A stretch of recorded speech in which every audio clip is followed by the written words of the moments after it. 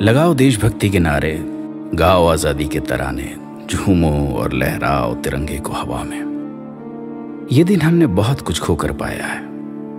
भारत माँ के वीर सपूतों ने इस शुभ दिन के लिए अपने शीशों को नवाया है।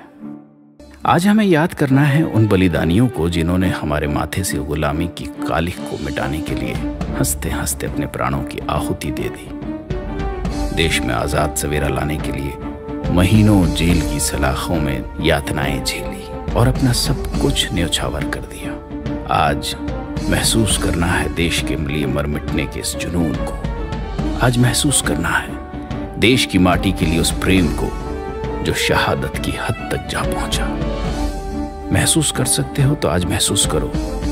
फांसी के तख्ते पे खड़े इस धरा के लालों की आँखों में तैरते ख्वाबों को, जिनमें देश की खुशहाली सद्भाव और तरक्की होगी।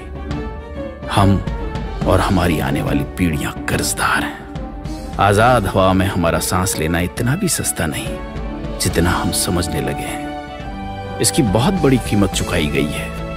आज भी हमारी आज़ादी को कायम रखने के लिए हर साल हमारे देश के जवान देश की सरहद पर सीने पर गोली खा रहे हैं।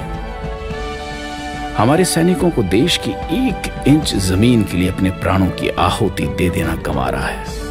लेकिन उन्हें गंवारा नहीं कि दुश्मन एक पल भी सरजमीन पर अपने पैरों पर खड़ा रह सके। ये सच है कि हम सीमा पर नहीं जा सकते।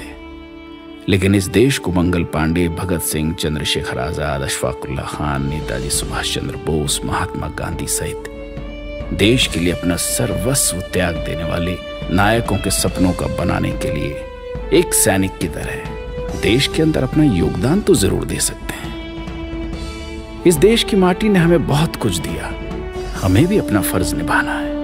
हमें अपना कर्ज चुकाना है।